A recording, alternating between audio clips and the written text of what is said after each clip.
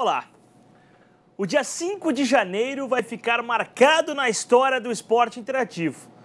E por que não dizer também da TV brasileira? Falamos nesse momento ao vivo, direto do estádio da Fonte Nova. Um grande palco do futebol brasileiro. Em poucos meses será um grande palco do futebol mundial, com jogos de Copa do Mundo, mas principalmente um grande palco do futebol nordestino. E é desse palco aqui que nós temos a honra de lançar o primeiro canal de esportes dedicado a uma região do país. Uma região que merece e merece demais, uma região apaixonada pelo futebol. E para a gente começar o Esporte Interativo Nordeste, eu quero que você, Alex Portela, presidente da Liga dos Clubes do Nordeste, um grande entusiasta do futebol nordestino, ex-presidente do Vitória, teve uma grande campanha à frente desse clube. Queria que você, em nome de todos os nordestinos, desse o pontapé inicial do nosso canal. Você que conhece essa bola, pode botar aí e vamos colocar no ar para todo o Brasil o Esporte Interativo Nordeste.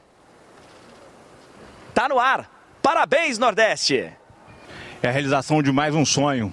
E um sonho do tamanho do sonho do Nordeste, um sonho do tamanho dessa região que merecia e merece um canal dedicado a ela.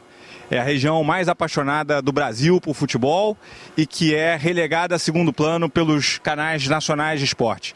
E agora tem um canal que vai cobrir todos os dias os times da região Nordeste, todos os dias o seu time. Essa foi a abertura oficial do Esporte Interativo Nordeste, realizada nesse domingo, 5 de janeiro, no estádio da Fonte Nova, um dos palcos da Copa do Mundo. Esse pontapé inicial simbólico foi dado e agora o Brasil inteiro pode acompanhar um canal dedicado ao futebol nordestino, vários campeonatos regionais, a Copa do Nordeste chegando com tudo. É uma realidade. Como disse o presidente do Esporte Interativo, Edgar Diniz, é mais um sonho realizado, é mais uma conquista do esporte interativo.